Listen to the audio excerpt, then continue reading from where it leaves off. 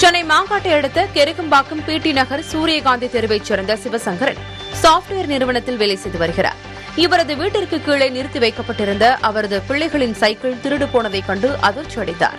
மேலும் அங்கு வைக்கப்பட்டிருந்த கண்காணிப்பு கேமரா காட்சிகளை ஆய்வு செய்தபோது வாகனங்கள் நிறுத்தி வைத்திருக்கும் இடத்திற்கு ரெயின்கோட் முகக்கவசம் அணிந்து வந்த நபர் அங்கு நிறுத்தி வைக்கப்பட்டிருந்த இருசக்கர வாகனங்களை நீண்ட நேரமாக கையில் டார்ச் லைட் வைத்துக் கொண்டு நோட்டமிடுகிறார். அந்த இடத்தில் வேற ஏதாவது பொருள் கிடைக்குமா என்று தேடி பார்த்த நிலையில் வாகனங்களை எடுத்து செல்ல முடியாத சூழல் இருந்ததால் இறுதியாக சிறுவர்கள் ஓட்டும் சைக்கிளை மட்டும் அந்த நபர் அங்கிருந்து திருடி சென்றது தெரியவந்தது இதுகுறித்த புகாரின் பேரில் போலீசார் விசாரித்து வருகின்றனர்.